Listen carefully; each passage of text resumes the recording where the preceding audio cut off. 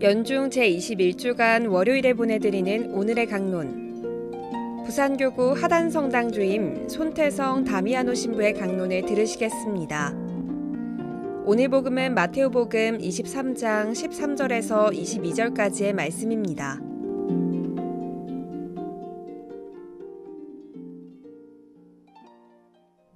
그때 예수님께서 말씀하셨다.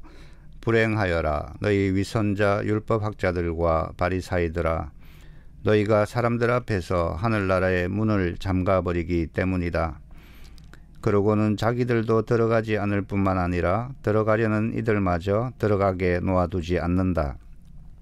불행하여라 너희 위선자 율법학자들과 바리사이들아 너희가 개종자 한 사람을 얻으려고 바다와 무틀 돌아다니다가 한 사람이 생기면 너희보다 갑절이나 못된 지옥의 자식으로 만들어 버리기 때문이다. 불행하여라 너희 눈먼 인도자들아 성전을 두고 한 맹세는 아무것도 아니지만 성전의 금을 두고 한 맹세는 지켜야 한다고 너희는 말한다. 어리석고 눈먼 자들아 무엇이 더 중요하냐 금이냐 아니면 금을 거룩하게 하는 성전이냐 너희는 또 재단을 두고 한 맹세는 아무것도 아니지만 재단 위에 놓인 예물을 두고 한 맹세는 지켜야 한다고 말한다. 눈먼 자들아 무엇이 더 중요하냐? 예물이냐 아니면 예물을 거룩하게 하는 재단이냐? 사실 재단을 두고 맹세하는 이는 재단과 그 위에 있는 모든 것을 두고 맹세하는 것이고 성전을 두고 맹세하는 이는 성전과 그 안에 사시는 분을 두고 맹세하는 것이며 하늘을 두고 맹세하는 이는 하느님의 옥자와 그 위에 앉아 계신 분을 두고 맹세하는 것이다. 오늘 복음의 내용은 바리사이들과 율법 학자들이 하늘나라의 문을 막아 버렸다는 것과 그들이 잘못된 맹세를 가르친다는 내용입니다. 예수님께서는 바리사이들과 율법학자들을 위선자라고 부르십니다. 위선자란 겉과 속이 다른 사람입니다. 겉과 속이 다르면 다른 사람들이 잘 속게 됩니다. 그들의 겉모습을 보고 속도 그러하리라고 생각하면서 좋은 사람으로 보게 되어 사기를 당하게 되겠지요. 위선자들을 곁에 두거나 가까이 하면 안 되는 이유입니다. 위선자들은 남을 잘 속이고 다른 사람들은 그들에게 잘 속게 됩니다. 따라서 위선자들은 천국을 말하지만 천국의 삶을 살지 못하고 오히려 천국의 문을 막아버리는 사람이 되어버리는 것입니다. 바리사이들과 율법학자들은 본래 사람들을 천국으로 이끄는 것이 그들의 임무였습니다. 그런데 그들이 천국으로 이끌기는커녕 천국 문을 막아버리는 사람이 되었다고 예수님은 말씀하십니다.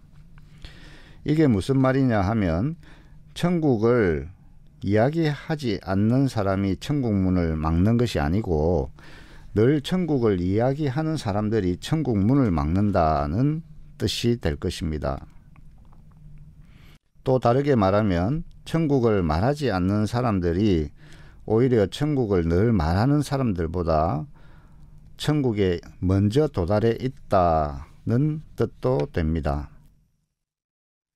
그 모습으로 천국에 가는 것이 아니기에 우리가 생각할 때 천국에 가까울 것 같은 사람들이 오히려 천국에서 멀고 그 반대의 경우 천국에 못 갈 것 같은 사람들이 이미 천국에 가까이 있다고 예수님께서 말씀하신 바도 있습니다.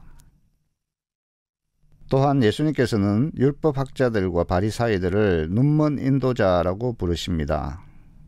예수님은 아예 맹세하지 말라고 가르치신 바가 있는데 그들은 자주 맹세를 가르칩니다. 그런데 그들이 말하는 맹세하는 대상은 하나님인 것처럼 보이지만 사실은 그들의 욕망입니다. 그들이 하느님께 맹세하더라도 사실 그 내용을 보면 자신들의 욕망이 있습니다. 우리들이 하는 대부분의 맹세들은 자신의 욕망을 채워주지 못할 경우에 아주 약해집니다. 눈이 먼 인도자들은 사람들의 욕망을 부추기고 끌고 갑니다. 그러나 그것은 아무것도 없는 허상이기 때문에 사람들을 파멸로 이끌 수밖에 없는 것입니다. 자신의 욕망을 위해서 길이 아닌 길도 옳다고 확신하면서 다들 열심히 살아갑니다. 심지어는 자신을 이끄는 자가 눈먼 인도자인 줄 알면서도 성실하게 따라다닙니다.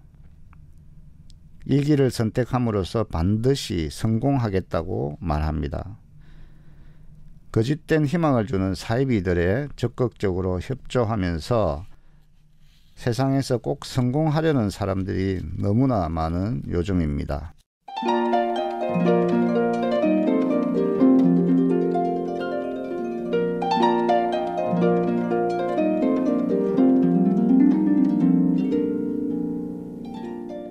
지금까지 부산교구 하단성당 주임 손태성 다미아노 신부의 강론을 들으셨습니다.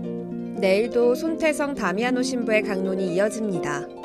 오늘의 강론은 매일 오전 11시에 미사가 봉헌되는 오륜대 순교자 성지와 함께합니다.